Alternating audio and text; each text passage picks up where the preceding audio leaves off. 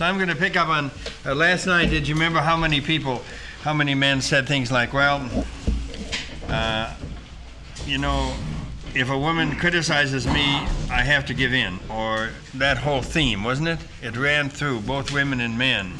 Not coming out of childhood with, "Mm, go where you want to go.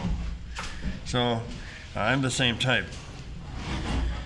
So I, was- I, some of you know that after Bill Stafford died, who wrote a poem every day, I started doing that.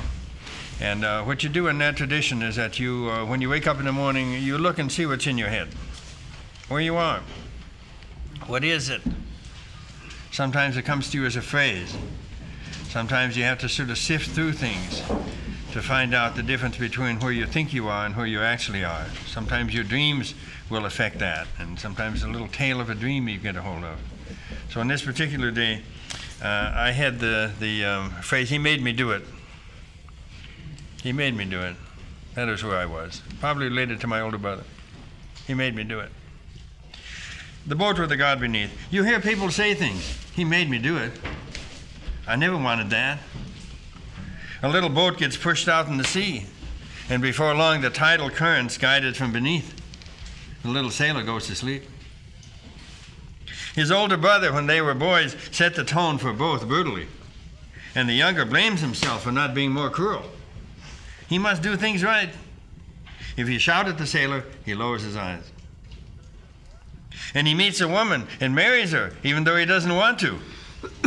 he says, It was a current. You ever gotten married that way? And he meets a woman and marries her, even though he doesn't want to. He says, It was a current. But some tiny black figure swims below the boat, pushing it. This man or God works all night. What happens then? Weeks go by, months, a lot of water. The boat hits the gravel. It's an island, the kind where giants live. Don't say you didn't want it.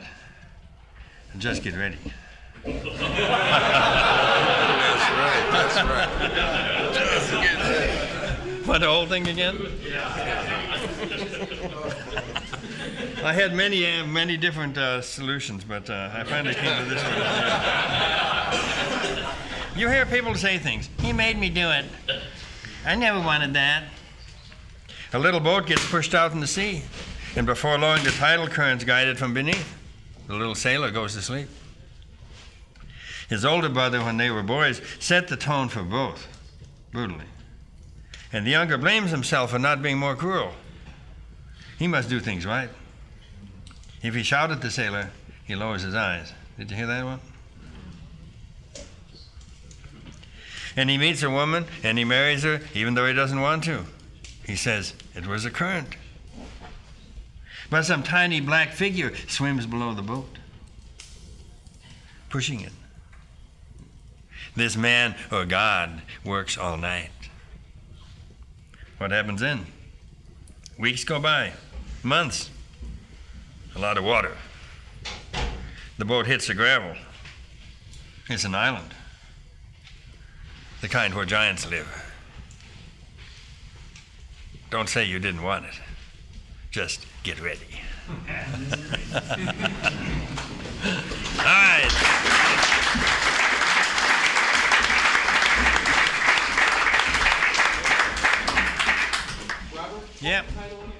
That's, I don't know, it doesn't have a decent title. It's called, uh, without The title? Boat with the God Beneath.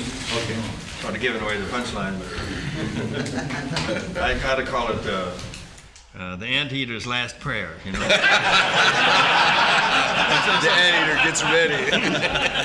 The anteater's asshole, but The anteater's asshole gets tight. I like the Anteater. If I put the Anteater in, no one would ever figure it out. Isn't it?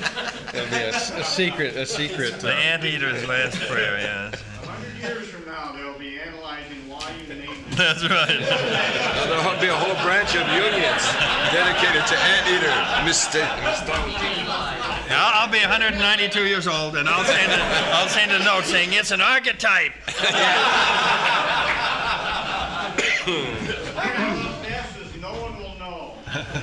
what did he say? Like the grill. The anteater knows. Oh, yeah, the anteater. Yeah. This relates to kind of where we were at uh, in terms of last night, and perhaps all week, in a specific way. Somebody was breaking the windows out of a 1970s Ford. Somebody's anger for who knows what shattered the fragile, fragile mirror of sleep, the morning silence and chatter of birds. A sledgehammer in both hands then crashed onto the side of the car, down on the hood, through the front grille and headlights. This Humboldt Park street screamed in the rage of a single young man. Nobody got out of their homes. Nobody did anything. The dude kept yelling and tearing into the car. Nobody claimed it. I looked out of the window as he swung again. Next to me was my woman. We had just awakened after a night of lovemaking. Her six year old daughter was asleep on a rug in the living room. My woman placed her arms around me, and we both watched through the louvered blinds. Pieces of the car tumbled onto steamed asphalt. Man hands to create it, man hands to destroy it. Something about being so mad and taking it out on your car, anybody's car. I mean, cars get killed every day. I understood this pain. And every time he swung down on the metal, I felt the blue heat swimming up in his veins. I sensed the seething eyes staring from his chest, the gleam of sweat on his neck, the anger of a thousand sneers, the storm of bright lights into the abyss of an eyeball. Lonely, out of work, out of time, I knew this pain. I wanted to be there, to yell out with him, to squeeze out the violence that gnawed at his throat. I wanted to be the sledgehammer, to be the crush of steel on glass, to be this hungry young man, a woman at my side. Whose poem is that? That's uh, Luis Rodriguez. Oh, that's wonderful. Jimmy Santiago Baca is a good poet. Yeah, I- You- We should get him here sometime. Yeah. That's right.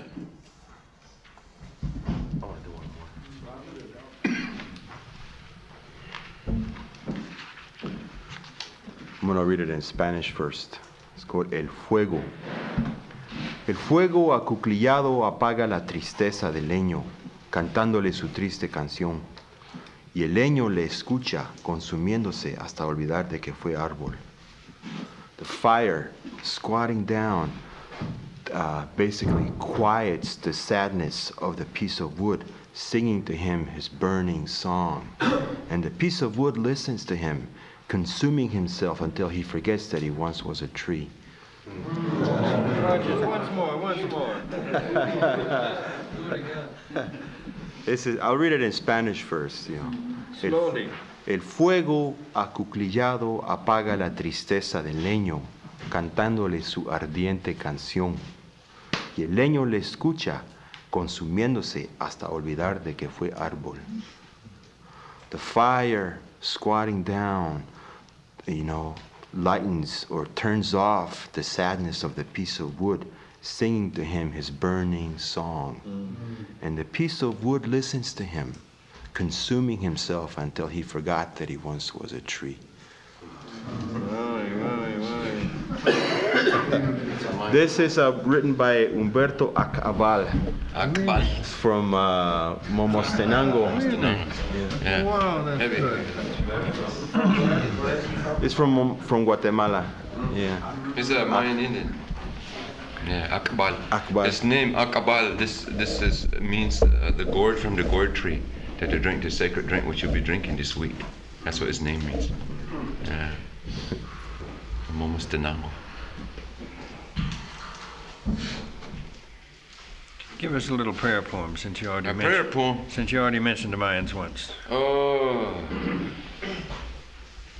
Prayer poem has to be a translation. Let's see.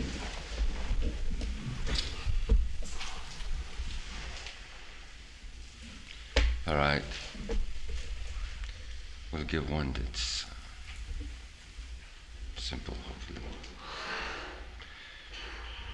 A thousand hummingbird warriors, a thousand hummingbird warriors, a thousand hummingbird warriors white ones, yellow ones, red ones, green ones, unknown ones, sparkling ones, black ones. They dive into my spine. They dive into my spine. They dive into our spine. They dive into the spine. They come sweeping with their wings.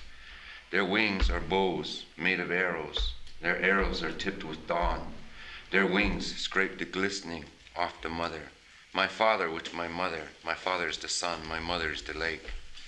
The glistening is the first child. They scraped that first child off the lake and cast it toward my heart, and cast it toward my heart, and cast it toward my heart, and cast it toward my heart, as it comes weeping, as it comes weeping, as it comes weeping, as it comes weeping.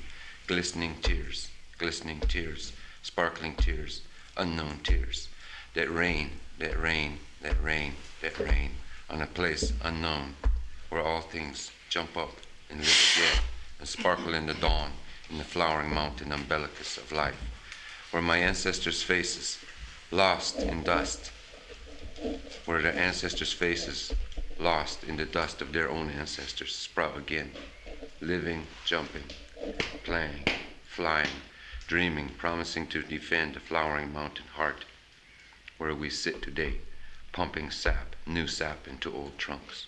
Long life, sweetness, happiness. Thank you. Mm-hmm. Hmm.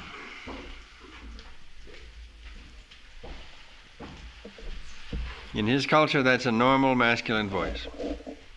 Yeah. Hmm? We have competitions. Like when men get drunk, they don't stand up and fight or tell how many women they laid. They try to outdo each other and devastate each other with beautiful words. The whole idea is to become an akutla. That means somebody who knows how to search their mouth for beautiful words that can devastate the enemy. to devastate the enemy means they'll want to be your friend. the way you say to love, to be well loved, we have no word for love, no word for art. Everyone's an artist, everybody's in love. The way you say to be loved, it says, "Mo'utst kin ben b'takbeit kanen kamit." Means it's not good for me to walk the streets of my village any longer. It sounds like a curse, you know. But what it means is I can't get anywhere because so many people like me, they keep dragging me into their huts to feed me. so I have to sneak around my village because everybody likes me too much. Otherwise, I get nothing done.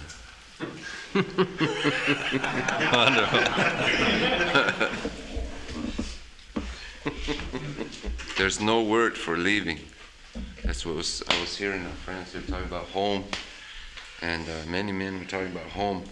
In Mayan, you can. There's no word to say leave. You can't leave home.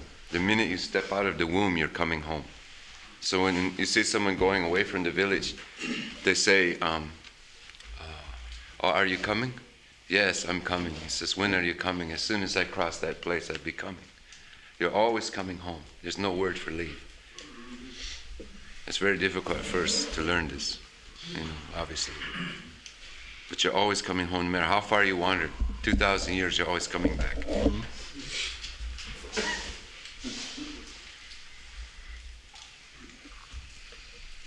Should I do one more?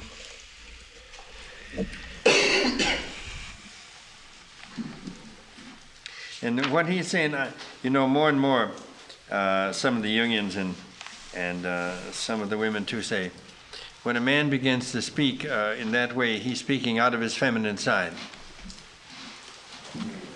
But I'm more and more suspicious of that. I think he's speaking straight out of his masculine side. And this word devastation indicates it's true.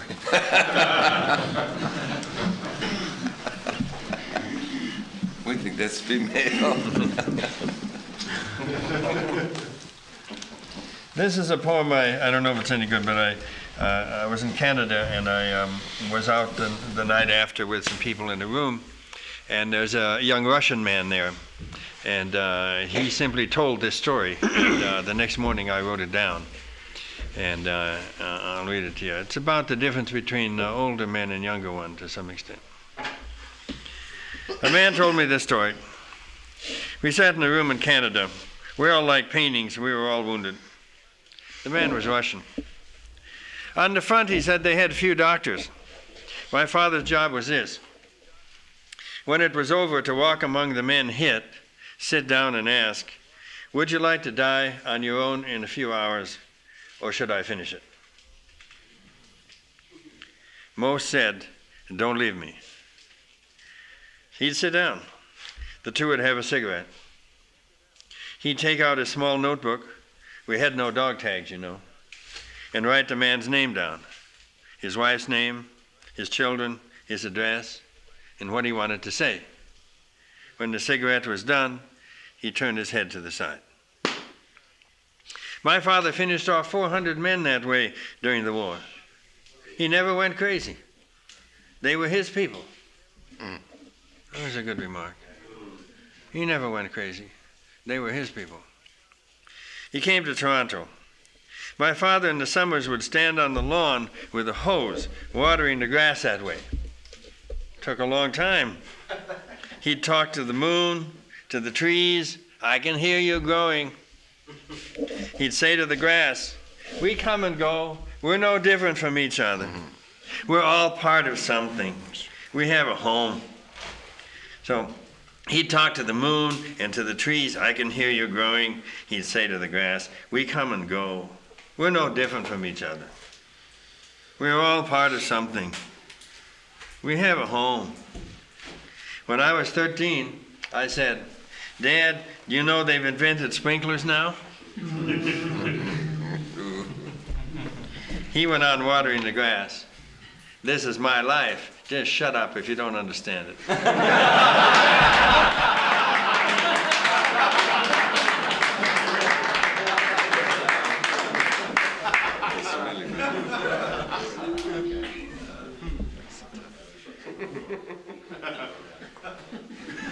But at that moment, the father's got to be strong enough to stand up for what he believes too, and not all of this stuff.